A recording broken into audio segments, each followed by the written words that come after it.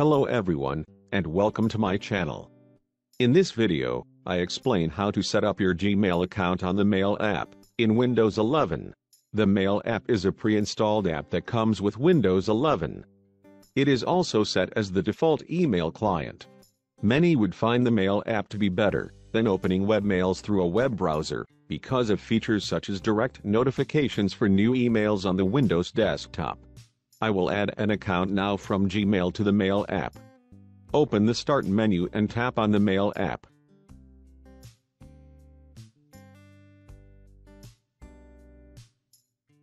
You can pin it to the taskbar, if you are going to use it all the time.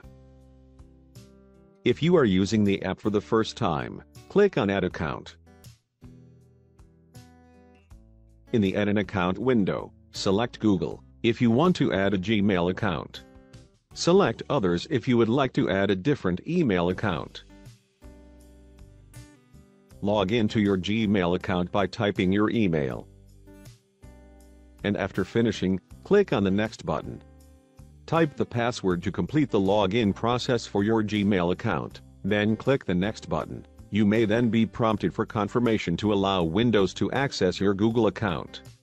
Click Allow to proceed. Your Gmail account has now been successfully added to the Mail app in Windows 11. After added your Gmail account, you can start viewing your emails from that account by selecting the account under Accounts on the left pane in the Mail app.